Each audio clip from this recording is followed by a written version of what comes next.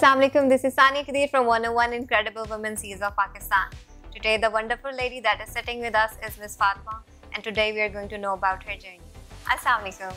वालेकुम सलाम hope you fine Alhamdulillah, I'm fine. How are you? अल्लाह अच्छा मिस फातिमा आप एक सीनियर आर्किटेक्ट हैं तो ये आपकी जर्नी स्टार्ट कहाँ से हुई basically started from I would say mainly curiosity okay कि फ़र्स्ट ऑफ़ ऑल अगर मैं कहूँ स्कूल में जो है I use to make drawings art works वगैरह, जो कि अगर मैं कहूँ कि मैं as an arts work drawings वगैरह में एक बिल्कुल एक टॉप लेवल कह सकते ना कि उसमें आई वॉज़ टू गुड फिर उसके बाद जो यही शौक था कि मैं अपने ग्रैंड फादर को जो है अपने आर्ट वर्क्स वगैरह दिखाना and he use to appreciate me that was like a day made for me so further यही इसको कंटिन्यू कर करके my grand father wanted me कि मैं एक आर्टिस्ट बनूँ.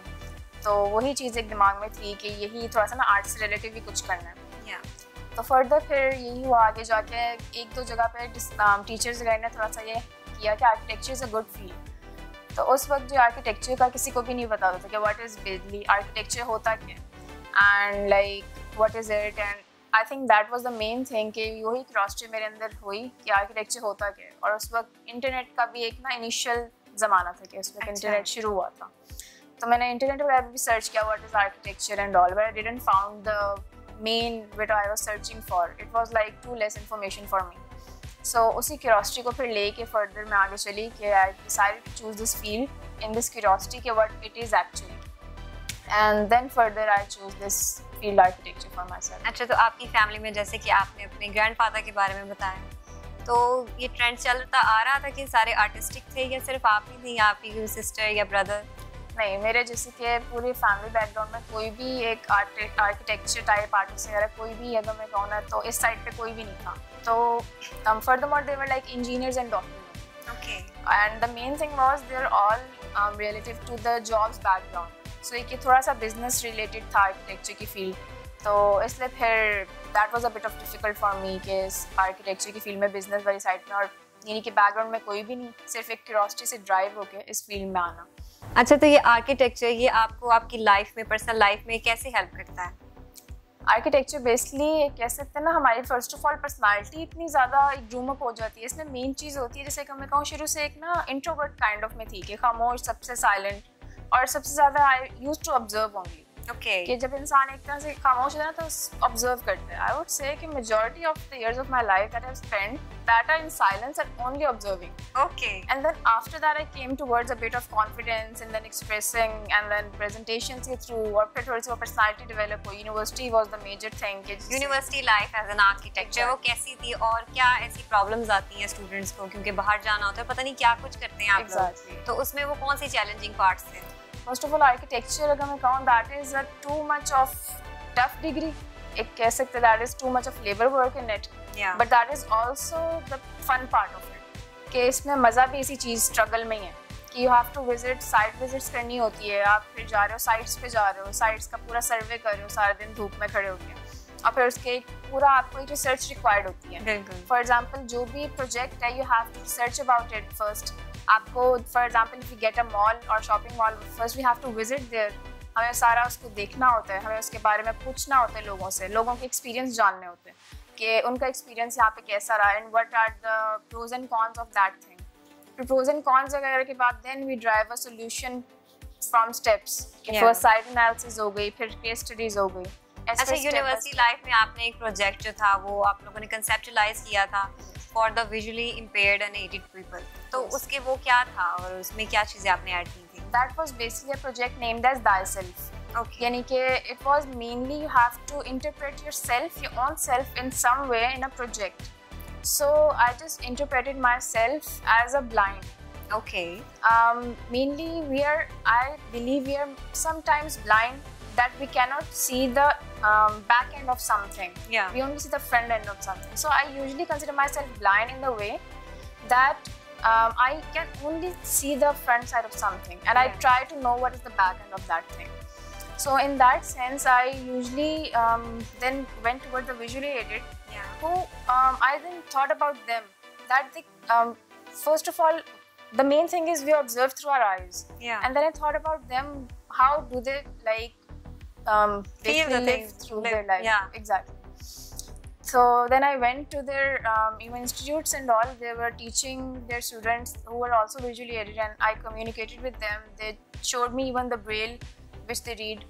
And they even they were like kind of asking me for help. I was literally not in the situation at that time. I was just there for the research work and all. But they were like we hope that something could be done um, relating to that and the urban how they face the urban issues in Yeah. urban streets the um, basically इतनी traffic होती है normal लोग जो है वही इतना मुश्किल से traffic को cross कर पाते हैं बिल्कुल और फिर जहाँ पे visually aided की बात है वो So what were the concepts that you added in it? Yes, basically it was like we have to when we um, enter a space or enter anything.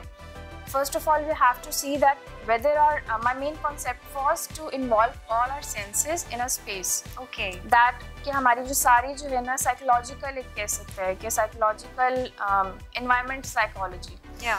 कि हमारी जो इन्वायरमेंट है वो हम पे कैसे इफ़ेक्ट करती है बेसिकली तो we have to I tried my best to include the senses like involve जैसे कि वाटरफॉल का एस्पेक्ट एक दे दिया कि जिससे जो हमें वो पानी की जो आवाज़ सुनाई दे जैसे हम एंटर हो। Um, एक वो वुडन एक हमने वो गहराई की वो आवाज़ दे दी कि हम जब उस पर स्टेप करें तो हमें एक डीप सी आवाज़ है उसकी। एंड उसके बाद फिर एक टेक्सचर के थ्रू जो है वो हमने उसकी जो टेक्सचर्स वगैरह वो डिसाइड किया कि you are like entering any space and you touch that you can like feel that texture and you can like involve all your senses in that. अच्छा अगर हम इसको एक्चुअलाइज करना चाहें to our real life for those people तो उसमें हमें क्या कुछ करना पड़ेगा? Um, basically for the visually aided I must say कि um, जैसे कि we are like हमारे पास बुक्स हैं। Yeah. हमारे पास बुक्स हैं हमारे हमारे लिए समझना बहुत आसान होता है हम कोई चीज़ देखते हैं। उनके लिए जो मेन चीज़ है उनके लिए समझना जो है that is a bit of कि उनके लिए sources there are not that much Yeah.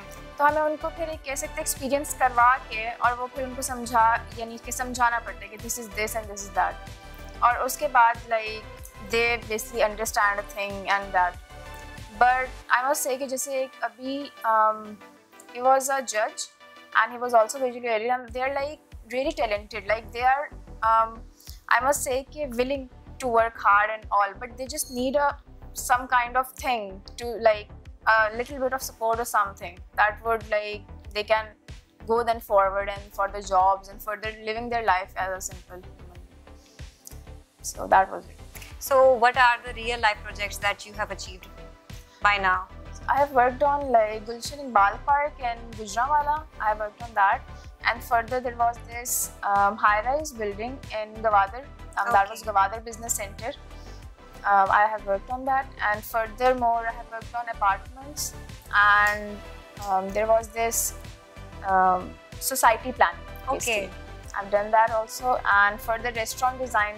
Okay. And further, then residential design go along with these. तो आपकी expertise किसमें है? My expertise are basically my focus is on high-rise buildings, Okay. and basically I try to just connect them with the urban design too. Um, the connection of urban and the high-rise buildings along with the sustainable factor in it. Okay तो जो लड़कियाँ जो कि architecture को pursue करना चाहती हैं तो उनके लिए आपका क्या मैसेज होगा first of all I would say कि um, लड़कियों के लिए this is like really really बहुत अच्छी फ़ील्ड है और um, कह सकते हैं ना कि इसका इल्म होना सबसे पहले उनके पास उनको बस यही पता होता है मैथ्स है साइंस है कंप्यूटर है मेजरली बायो. तो I would say architecture is really creative field कि जैसे कि लड़कियों को शौक होता है इंटीरियर डिज़ाइन करने का अपना घर सजाने का और फिर छोटी छोटी चीज़ें बनाने का ऐसा। तो फिर जो है ये चीज़ उसको इनहांस कर देती है। Exactly. मतलब आपको पता चल जाता है कि इस रूम में जो है इस इस चीज़ की बजाय ये चीज़ होनी चाहिए थी। Exactly. यहाँ पे लैंप नहीं होना चाहिए था यहाँ पे कैंडल होनी चाहिए थी कुछ ऐसा कुछ। होता है। एग्जैक्टली जैसे कि हम अगर फीमेल्स में ना चीज़ ज़्यादा एक होती है कि उनको ये चीज़ एस्थेटिकली जो है ना उनको सारा एग्जैक्टली और ये सारा मैनेज करना है कि घर को खुद से सजा रही होती हैं। और फिर अपना जैसे कि बचपन से वो डॉल हाउस एक अपना कोई एक छोटा सा घर बना रही होती है ऐसे कुछ ना। तो I think for females is really good feel और इसमें कोई एक कह सकते हैं ना आपकी सारी क्रिएटिविटी भी आप जो है उसमें फिर जैसे इंटीरियर डिज़ाइन में आपको छोटे छोटे इवन मेंटल पीसेस वगैरह आपको चूज़ करके वहाँ पे प्लेस करना कौन सा सूट करेगा कौन सा कलर इसमें अच्छा लगेगा फिर कितनी लेयर्स में कौन सी लेयर्स आएँगी एंड ऑल तो for females I would prefer कि ये बहुत अच्छी एक फ़ील्ड है। अच्छा ये ऑसबर कंसल्टेंट्स लाहौर में आप लोगों ने जो है इंटर्नशिप भी दी? एग्जैक्टली ऑसबा कंसल्टेंट्स में बेसिकली इंटर्नीज जो थे, उनको भी एक तरह से उनको टीच करना, उनको गाइड करना और टीच करके फिर उनको सॉफ्टवेयर वगैरह जो नहीं सीखे हुए तो उनको सॉफ्टवेयर सिखाना। और उसके बाद जैसे ड्राफ्ट पर्सन है और बाकी जैसे कि हमें हर एक उससे रिलेट यानी कि कनेक्टेड रहना होता है। स्ट्रक्चर वाले लोगों से भी और जो ड्राफ्ट पर्सन है उनसे भी। कि हमने एक पूरा प्रोजेक्ट का एक तरह से project management is also a part of it कि आपने स्ट्रक्चर वालों से भी um, देखना होता है कि whether the structure drawings are all everything is fine and all and whether the drafting and all everything is fine and all कि डिज़ाइन के मुताबिक है कि नहीं. तो इट्स लाइक कि आपका एक वो बेस आप होते हैं और आपने सारी चीज़ों को ना उससे कनेक्ट करना होता है कि whether it's according to the design और इट्स समथिंग आगे पीछे. तो that is the main job okay तो any message you would want to give to the general public yes basically ये कि जो है um, मैं यही कहूँगी जैसे कि जनरल लोग होते हैं जो मैंने मेजोरिटी देखा है वो टेंशन ले रहे होते हैं रिस्क की और इज़्ज़त की यूजली तो आई वुड से कि जो चीज़ अपने हाथ में उस चीज़ की आप ज़्यादा वो अगर करें कि जैसे कि हमारे हाथ में मेहनत है एक ऑनेस्टी और लॉयल्टी से सिर्फ़ अपनी एक मेहनत exactly. करना और बाकी एक फेथ बहुत ज़रूरी है. कि आपको एक यकीन हो कि हम जब मेहनत करेंगे तो बेशक अल्लाह हमें उसकी मेहनत के बेस पे कुछ ना कुछ यानी कि हमें इंशाल्लाह इसका रिज़ल्ट मिलेगा। तो उस फेथ के साथ बस मेहनत करें और ये जो रिस्क और उसका जो है ये फिर अल्लाह पे ही छोड़ दें। Thank you so much it was so informative thank you so much for watching Allah